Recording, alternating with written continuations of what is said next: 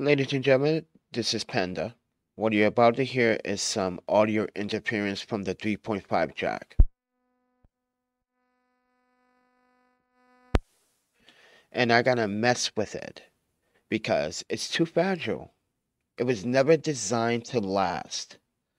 So I just want to show you how come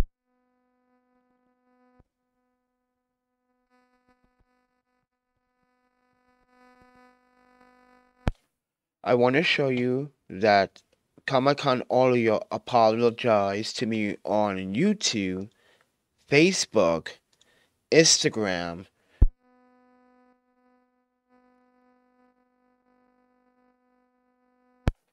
Twitter, and email.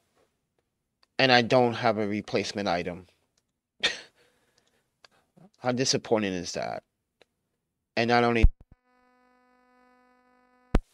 they still want to price it at a hundred dollars. I don't think it's worth a hundred dollars when you have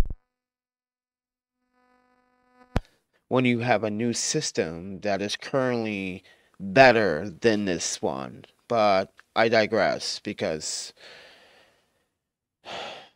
you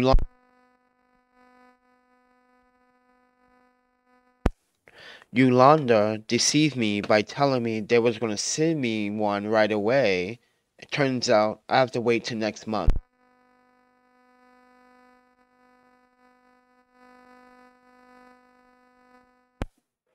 And as you can hear the audio cut in and out, that's what I'm facing. So I can't get anything done.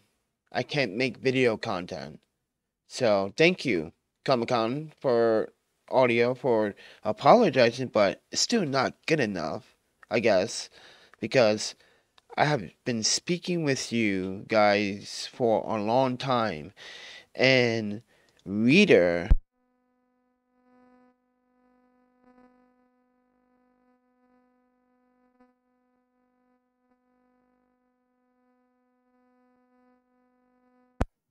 Rita actually had to go back in her conversation on Instagram and she can see where I was started complaining about the 3.5 jack